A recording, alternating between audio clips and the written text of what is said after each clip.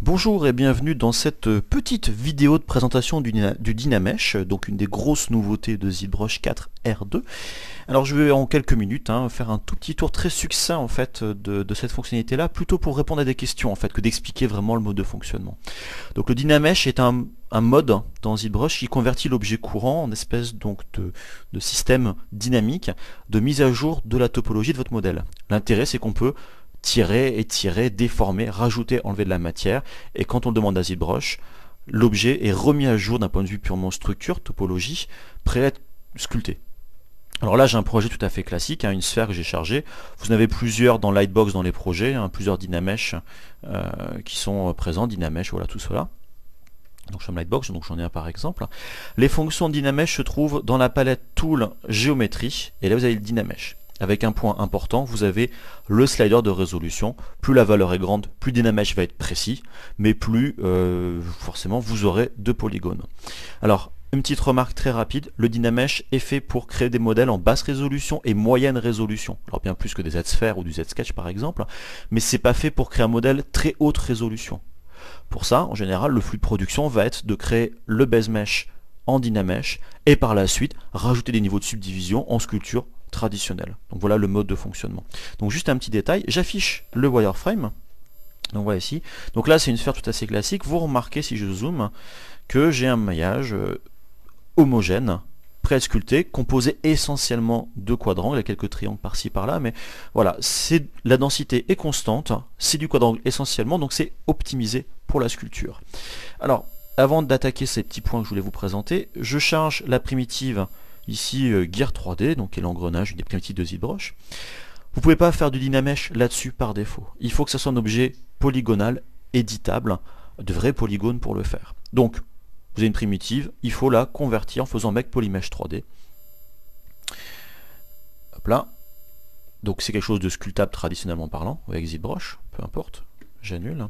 Donc remarquez un petit détail, quand je clique sur Dynamesh, voilà, la topologie a changé. Par contre, j'ai perdu en détail. Ma résolution de mon Dynamesh est plus faible que les détails que j'avais de façon précise. Donc, prenez bien en compte ce genre de choses. Ce n'est pas, on va dire, une conversion d'un modèle haute résolution vers du Dynamesh. Vous allez forcément perdre en qualité. Ce n'est pas le but. Bien sûr, vous pouvez augmenter la résolution. Je fais un CTRL Z. Voilà. Je vais augmenter la résolution, on va dire, à 544. Je passe d'abord en Dynamesh. Donc là, j'ai augmenté la résolution. Vous remarquez que mes détails ont été gardés au niveau donc du Dynamesh. Le problème, c'est qu'en résolution à 544, je vais vite être contraint en nombre de polygones. J'ai déjà 360 euh, 000 polygones, ce qui est beaucoup pour un premier niveau de subdivision, on va dire par la suite. Donc attention à ça. Donc je reviens, on va dire, à 128.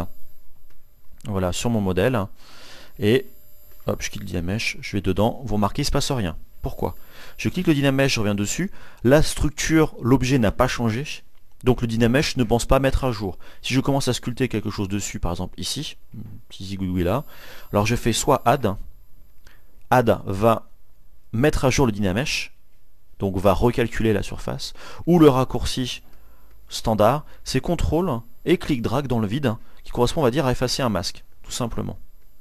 Voilà, pour marquer le Dynamesh, c'est mis à jour ici. Moi, ce que j'ai fait, c'est que j'ai rajouté sur ma tablette un raccourci clavier sur le bouton Add, la touche Z, tout simplement, que j'ai assigné un bouton. Donc à n'importe quel moment, je fais ma sculpture, j'appuie sur donc Z ou mon bouton, et mon Dynamesh est mis à jour. Donc voilà sur le mode de fonctionnement de base. Alors vous remarquez, ce n'est que du quadrangle. On est très loin de ce que propose Sculptrice. On a vu beaucoup de gens effectivement qui disaient oui, la techno Sculptrice est intégrée dans ZBrush, ça n'a rien à voir. Ce sont deux techniques qui ont leurs avantages et inconvénients, mais qui n'ont rien à voir, qui sont, on va dire, voilà, différentes. Après, à vous de voir ce que vous préférez. L'autre point aussi qui a été vu, je reviens donc sur ma sphère d'origine, c'est que j'enlève donc mon filaire, pas besoin d'avoir un matériau noir, comme certaines vidéos, donc euh, celle de Ryan notamment le montrait. N'importe quel matériau marche avec le Dynamesh. Voilà, il n'y a rien de spécial dessus. Et donc maintenant, il ne vous reste plus qu'à sculpter avec la symétrie éventuellement, comme n'importe quel objet dans, dans ZBrush, vous pouvez effectivement voilà, rajouter de la matière. Donc le Dynamesh, ce qui est important à prendre en compte, c'est que voilà, je suis sur un outil de sculpture, clé build-up, hein, euh, tout à fait standard, hein. rien d'exceptionnel, et vous remarquez comme n'importe quelle sculpture dans ZBrush, quand je travaille sur un base mesh, j'ai des polygones qui sont étirés. Donc à ce niveau-là, le Dynamesh ne fait rien du tout. Il n'y a pas de mise à jour automatique. C'est juste, on sculpte avec tous les outils de ZBrush. Un autre exemple, je vais, j'enlève donc mon, mon maillage, je vais faire un masque, j'inverse mon masque, je vais prendre transpose, là-dessus, et j'enlève juste ma symétrie, j'appuie sur ma touche CTRL pendant que je déplace, et vous remarquez qu'est-ce qui se passe? ZBrush me fait juste une extrusion. Bon, je tire les polygones, mais en fait il fait une extrusion à ce niveau-là. Voilà, donc là je me retrouve avec mon modèle,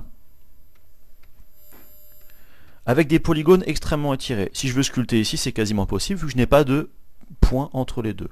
Donc là je dis au Dynamesh, mets-moi à jour.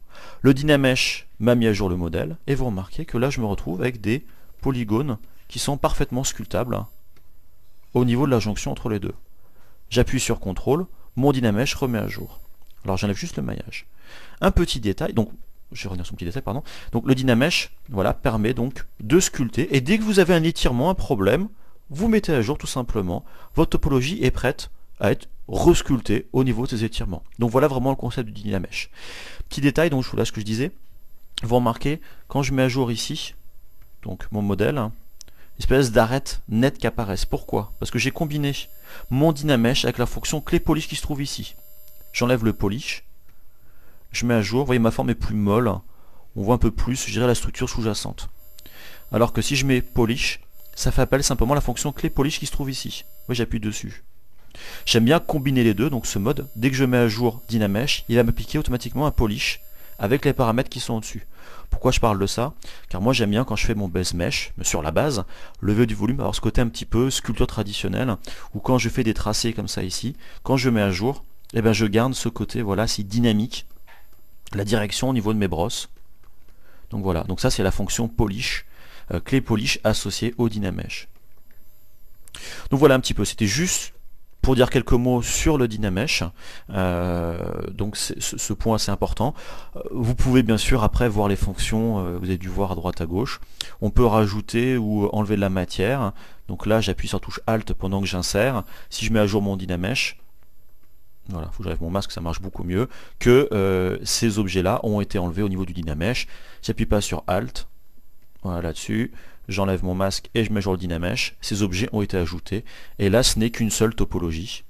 Vous remarquez bien, voilà, tout est bien lié entre les deux, et je peux sculpter la jonction, oups, pardon, c'est pas ce que je voulais faire, je prends mon clé build-up, la jonction entre les deux, c'est un seul modèle, je mets à jour mon Dynamesh, vous voyez, j'ai plus qu'une seule surface.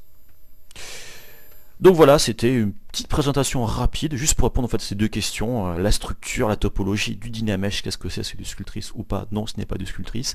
Et le matériau, pas besoin d'avoir un matériau euh, spécial, n'importe quel euh, matcap ou matériau standard, fera parfaitement l'affaire, il n'y a aucun souci par rapport à ça. Donc en tout cas, je vous dis une bonne création avec le Dynamesh, vous allez voir, vous allez vous éclater, vous allez plus vous prendre la tête avec vos problèmes de structure et tout, vous allez travailler visuellement. Donc c'est un gros plus avec ZBrush, essayez bien les brosses, il y a plein de brosses qui sont géniales. Euh, si par exemple je prends, alors je sais pas m'arrêter, c'est tellement truc bien, euh, je prends la curve trifill, on peut créer comme ça une, courbe et vous remarquez, j'ai créé automatiquement hop, de la forme que je peux modifier dynamiquement. Voilà. Donc quand j'ai fini, je peux effacer mon masque, mettre à jour mon Dynamesh et je n'ai plus qu'un seul et unique objet que je peux donc comme tout à l'heure sculpter au niveau de la jonction entre les deux, mettre à jour mon Dynamesh. Voilà, je n'ai qu'un seul et unique objet, ce qui est quand même le, gros avantage au niveau donc de ma sculpture.